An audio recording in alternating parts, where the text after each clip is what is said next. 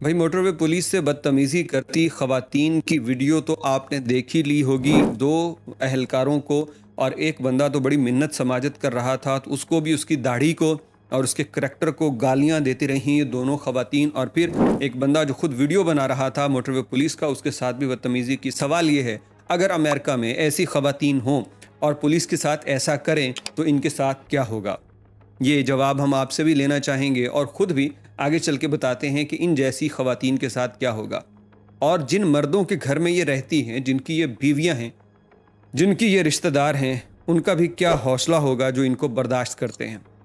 और ऐसे अपनी दौलत, अपने ताल्लुक़ और अपने इन चीज़ों का अकड़ दिखाने वाली ये वो बदबख्त एक इलीट क्लास है पाकिस्तान के अंदर जो सिस्टम को दुरुस्त नहीं होने देती और इनकी वजह से देखा दही, इनका लाइफस्टाइल इनकी ये सारी चीज़ें, फिर इनसे गरीब और मिडिल क्लास लोगों में भी डेवलप हो गई हैं और आज पाकिस्तान में हर बंदा कोशिश करता है कि मेरा ताल्लुक हो, मैं किसी को खा जाऊँ, मैं किसी को जीने ना दूँ।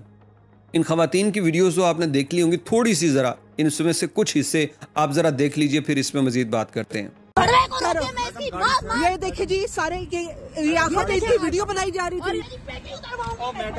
ये बार बार वीडियो बना रही हैं और हमें सिर्फ़ थ्रेट करने की कोशिश कर रही हैं कि जी आप शुक्र कर तुझे बाहर नहीं दिया। एक चपेट पड़ेगी तुझे।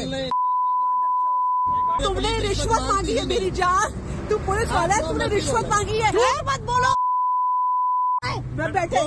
पुलिस वाले के साथ तो जो कुछ इसने किया वो आपके सामने है लेकिन इसकी दीदा दलेरी और बेहिसी देखिए। कि अपनी गाड़ी को एक ऐसी जगह खड़ा किया है जहाँ पे पीछे आने वाली गाड़ियों के साथ टक्कर से हादसा हो सकता है। ये कलर कहार की वो जगह है जहाँ पे आए रोज़ ख़तरनाक हादसा में कई लोगों की मौत हो जाती है और वहाँ पे रिक्वेस्ट करने के बावजूद भी ये ख़वातीन यहाँ से नहीं हिल रही। अगर इसी खातून को इस बंदे ने अमरीकी पुलिस की तरह घसीट के अपने घुटने के नीचे इसकी गर्दन रखी होती तो फिर ये खातून मेरा ख्याल यही डिज़र्व करती थी और इसकी यूँ चीखें ना निकलती जैसे अभी निकल रही हैं। और दरअसल ये चीखें नहीं हैं, ये वो रोब और दबदबा है, ये वो गलत फहमी है जो इन लोगों को है। बल्कि मैं तो कहूँगा इनको गलत फहमी नहीं है, बल्कि ये सच्चे ही हैं हकीकता ऐसा है कि समझते हैं कि हम इस मुल्क के करता धरता और बाकी सब हमारे ग़ुलाम हैं।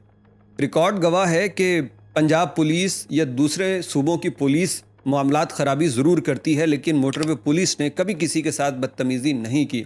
मोटरवे पुलिस का हमेशा मस्बत रवैया देखा गया है शहरियों के साथ। बिला इम्तियाज़ मदद करते हैं। बिला इम्तियाज़ कोई कार्रवाई हो तो वो करते हैं। जुर्माना सबको करते हैं। कहीं कोई फैसिलिटेट नहीं किया जाता।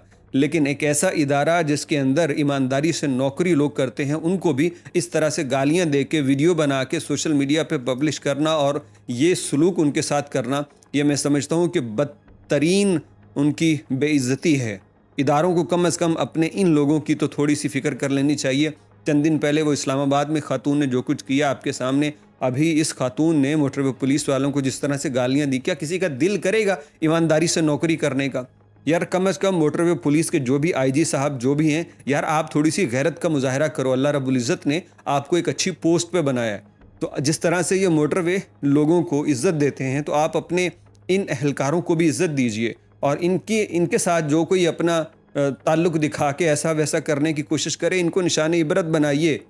और अपने पुलिस अफसरान को भी इतना इख्तियार कम अज़ कम ज़रूर दीजिए कि अगर कोई उनको माँ बहन की गाली दे तो फिर उसको जाने नहीं देना, बल्कि उसको गिरफ़्तार करके हथकड़ी लगा के पुलिस स्टेशन पहुँचाया जाए।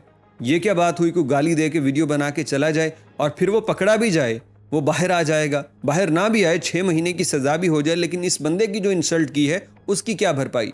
ये पुलिस बहुत कुछ कर सकती है। ये नौजवान इन लोगों को रोक भी सकते हैं, लेकिन ये महकमे की जानब से मजबूर होते हैं। लिहाजा महकमे थोड़ी सी गैरत का मुजाहरा करें और जो बंदा सही से ड्यूटी कर रहा है ना, उसकी बैक पे खड़े हों कि कोई भी उस तरह उसके साथ इस तरह से बदतमीज़ी और बदतहजीबी ना कर सके।